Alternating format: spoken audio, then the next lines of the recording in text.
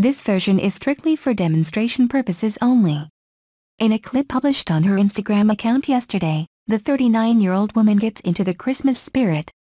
She's completely warm as she cradles her two-month-old daughter close to her chest. Baby Rani looks as cute as a button and everything is wrapped for snow in a red hat with a little flower detail. Hudson looks as welcoming as her daughter while wearing a jacket with fur and a large brown scarf. She can be seen walking through the snow while telling the fans that she and her daughter are going to walk in the morning and wishes them a Merry Christmas. In the title of the image, the founder of Fabletics tells the fans that this video was the only one she took on Christmas Day. I hope your Christmas has been as fun, loving and crazy as ours. We hope that someone else has received some pictures of our day because this was the only recording I got on Christmas Day, Hudson wrote. I guess that means it was a fantastic Christmas, sending everything well everywhere.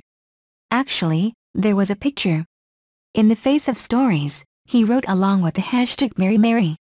Many fans have already taken the video to comment. Just one day after the publication was published, this sweet clip has earned Hudson a lot of attention. The video obtained more than 1.4 million visits, in addition to more than 2,000 comments.